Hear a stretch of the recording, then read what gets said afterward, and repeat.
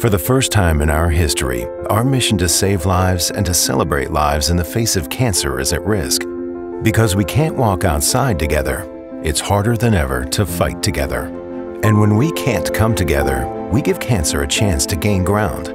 That's why we need your help. On Giving Tuesday Now, donate to the American Cancer Society and help us fund the critical services our patients need right now.